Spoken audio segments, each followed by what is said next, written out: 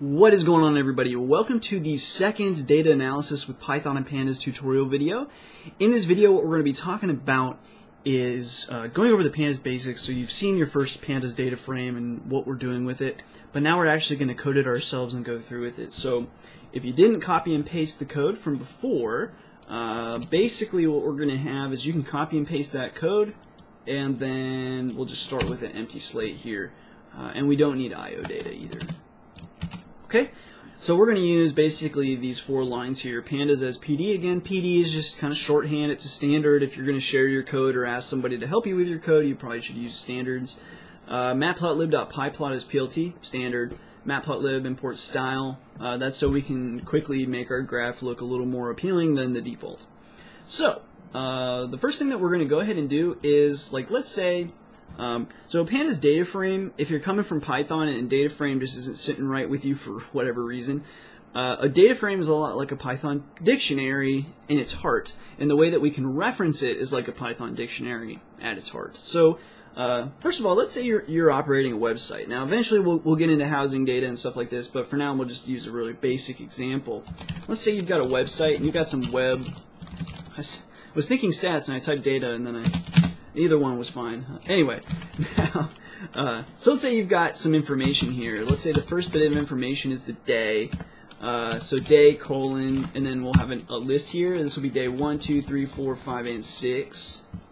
And then after that, maybe you've got uh, visitors. And also, again, if you're not familiar with dictionaries, I have the basics tutorial on dictionaries. Uh, relatively easy to understand if, uh, if you just go visit that tutorial real quick.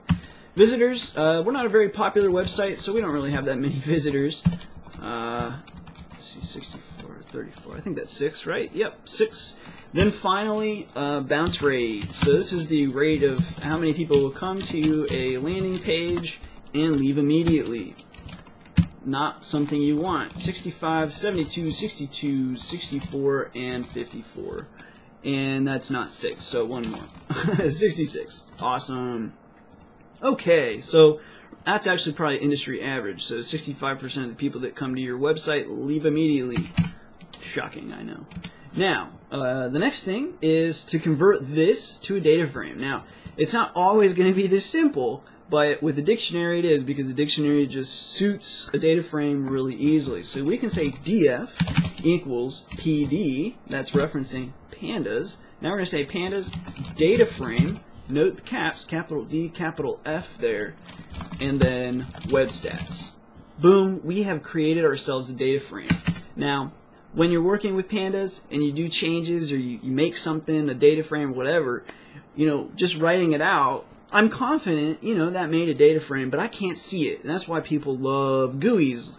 Uh, and that's why people like Excel over programming, because with Excel they can visually see it. Well, with, with pandas you can visually see it too. So what you can do is you can say print, and you could print the entire data frame, so df. And again, df uh, is just used as shorthand. Um, it's a standard. Generally, if you make a data frame, you call it df. But that's not, that's like the least restrictive of all of these uh, standards. If if you want to call your data frame something else, like before we called it, I think XOM, it was it was more it, at least it made sense to have that variable name. So especially if you're going to have like five data frames, it would it would be very unclear. Even if you called them df1, 2, 3, 4, 5, that would be really messy. It's it's better to call them something that relates to the data frame. Okay, so anyway. Uh, so you could call this, you know, stats or something like that, but we'll just call it data frame. So you can print out the data frame, F5 to run it, save, good. Um, and there we have uh, our information. You'll notice that we've got the 0, 1, 2, 3, 4, 5 over here. Again, that's the index. Now, if you don't specify an index, everything is treated as a normal column, and uh, an index will just be kind of generated automatically for you. But later on, we'll be talking about uh, in this tutorial how to set a specific index, uh, and we'll talk about why you would do that in a moment. Now that's our entire data frame. So that's six rows. Now you can reference just a specific um, section by doing print df.head, okay? And df.head just prints the first five rows, 0, 1, 2, 3, 4. Conversely, we can also do df.tail, and that prints the last five. Finally, what we could do is uh, you can do maybe you just want to print the last two. Well, you can throw a 2 in there as a parameter, and this will print only the last two columns. So that would be right here. Pretty cool.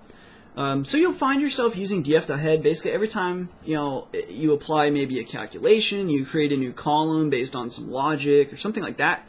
It's always a good idea to just kind of output that that data frame to the console so you can actually see what you're doing.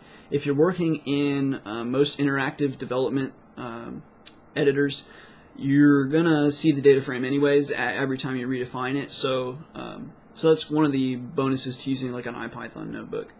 A lot of people have been asking me, hey man, you ever heard of IPython Notebook? Yes, I have. I just don't like them very much. I'm trying. I want to like them very badly. I just simply don't.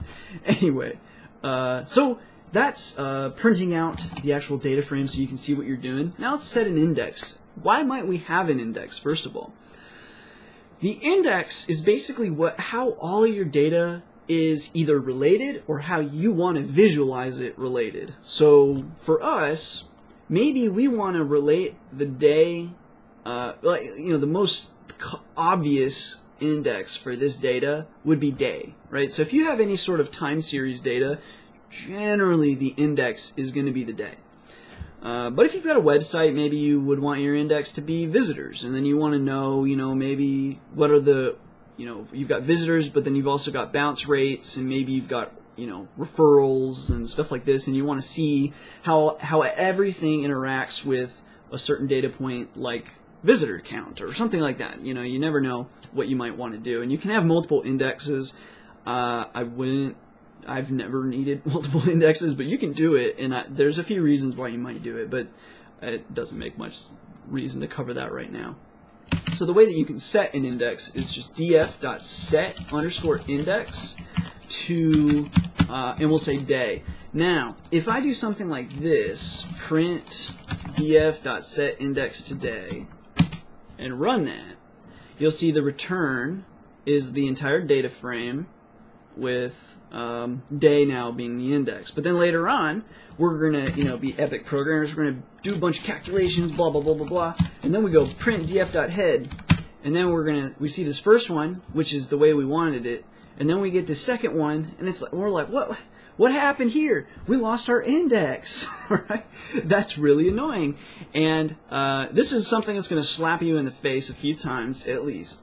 But what happens here is when you modify the data frame like this, what, what actually is happening here is when you say df.setIndexDay, you are returned a new data frame. Okay, so that's why this print statement worked out for you. You're you're returned a new data frame, and that's going to be the same thing if you're in an interactive development, uh, like an let's say IPython notebook. You're going to be returned the data frame. It's going to look great, and you're going to be like, yeah, cool, and then you're going to keep going on, and then suddenly your your index is no longer.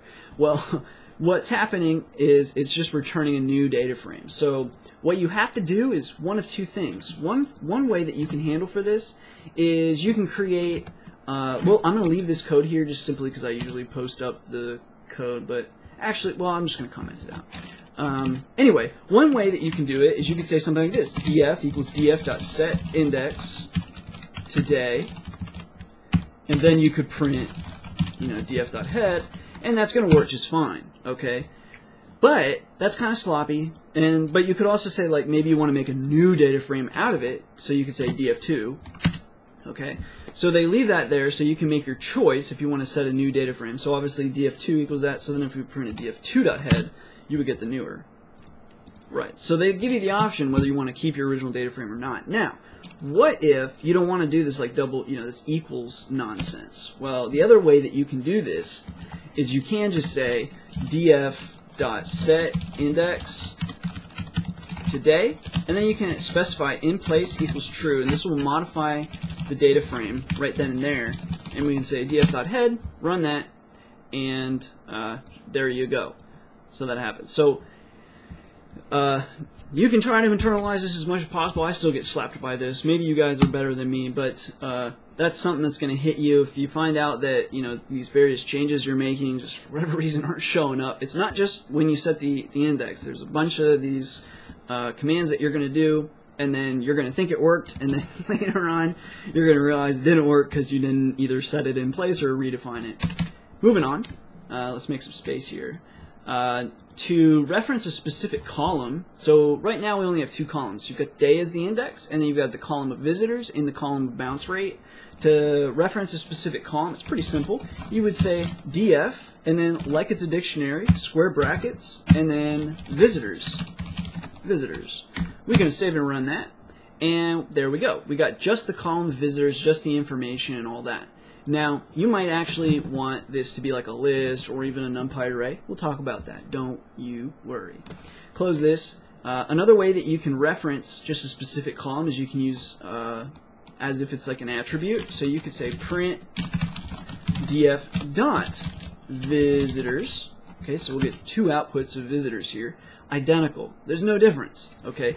So if you'll notice up here in bounce rate, I put an underscore. This allows you to use that dot uh, like it's an attribute uh, if you want. If you leave a space, that's totally fine. You can reference it like this, but you obviously cannot do dot bounce space rate. That would be a syntax error, right? So you can't do that, okay? But of course, you could do, you know, bounce rate um, actually, let's just return this. Uh, you could do, whoops. You could take bounce rate with the space here, copy, paste, save and run that, and that's totally fine. You can do that. So you might find data sets have spaces there, so you won't be able to do this kind of notation, but you can you can still handle spaces. That's fine. So now the next thing that we're going to go ahead and cover is so that's how you can reference like a single column if you wanted. Now, how do you reference multiple columns if you want it? You can reference the entire data frame, as we've already shown, but how do you reference multiple columns?